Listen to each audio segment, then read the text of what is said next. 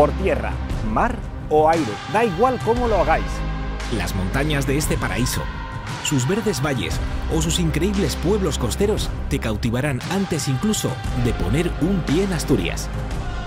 Hoy os proponemos respirar su naturaleza, escuchar el latido de su costa o deslumbraros con escenarios de película. Pero para ello tendréis que abrir vuestro corazón y dejaros llevar, porque sólo así descubriréis el auténtico paraíso con los cinco sentidos.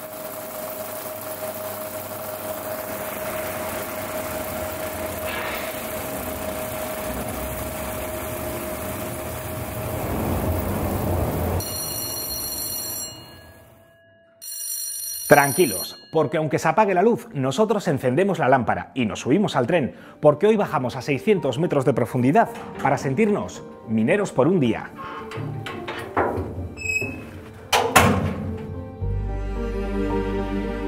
Hoy os llevo al MUMI, el Museo Minero de Asturias, en el Entrego San Vicente, donde nos ofrecen viajar en el tiempo y conocer un pozo como los de antaño. ¿Sabías que bajo las verdes montañas asturianas hay más de 5.000 kilómetros de túneles y galerías mineras? Vamos, que es como ir de Madrid a Kazajistán. Y así, agarrando este pico, tocando con mis dedos las marcas de barrena o manchándome de negro carbón es como se debieron de sentir miles de asturianos. Hoy, adentrarnos por estas galerías es conocer nuestro pasado, pero también homenajear a las miles de personas que trabajaron el carbón en Asturias.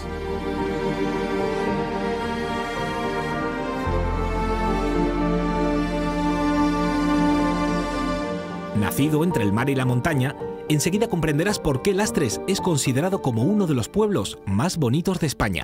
Bonitas vistas, ¿eh? En tiempos, este antiguo pueblo marinero se dedicaba a la pesca de ballenas. Y paseando por el puerto, hoy todavía podemos ver y saludar a las rederas.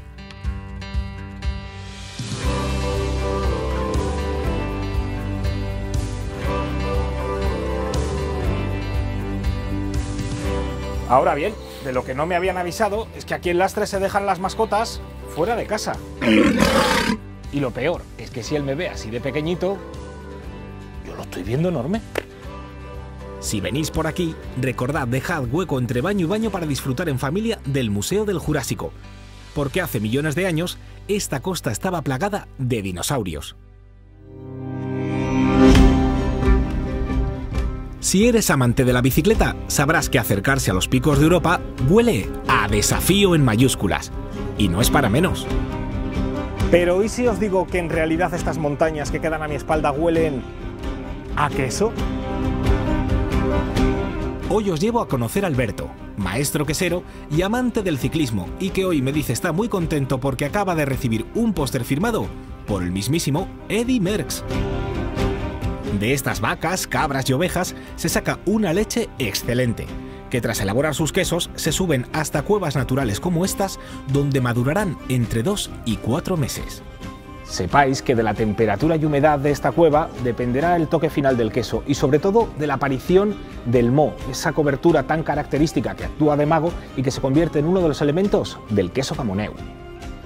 Para nosotros el secreto del gamoneu significaría tener un equilibrio entre las tres leches, primero, luego un ahumado fino, el final de la cueva, que quede, que quede ese queso que entendemos que es un queso con una proyección muy importante.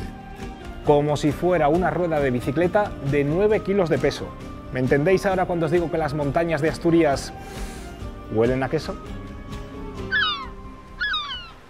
La costa del Cantábrico tiene su propio sonido. Pero para la llegada de todo un emperador hay que recibirle como se merece.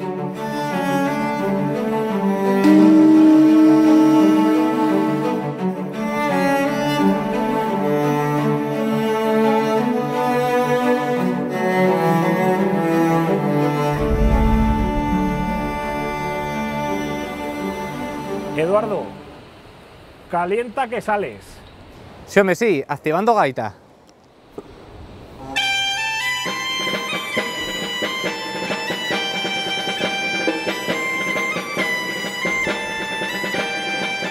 Hace hoy 505 años, en este puerto de Tazones, y sin que estuviera previsto, un joven Carlos de Habsburgo tomaba tierra en España para convertirse en el gran Carlos V, el hombre más poderoso de la tierra. Y aunque al principio le confundieron con un pirata, pronto se convirtió en una fiesta que rememoran en este pueblo cada año a la que acuden más de 5.000 espectadores. Asturias te conquistará por su sabor, y aunque hoy nos cueste decidirlo, nos quedamos con el de sus manzanas. Se dice que ya antes de los romanos, los astures recolectaban estas manzanas para producir su elixir de dioses. Y como en todo buen viaje, toca celebrar. Y en Asturias se hace a base de culines. ¿Habéis escuchado bien? Cu-li-nes. Podéis celebrar, chicos. ¡Buen camino! En Asturias hay más de 2.000 tipos de manzanas autóctonas. Y es en lugares como este donde se recolectan sus tradicionales pomaradas para obtener la sidra asturiana. Ahora bien, se dice que uno no se convierte en verdadero asturiano hasta que aprende a escanciar la sidra. Por eso me he traído a los cinco mejores de toda Nava, la villa de la sidra por excelencia, para aprender de ellos. Maestros,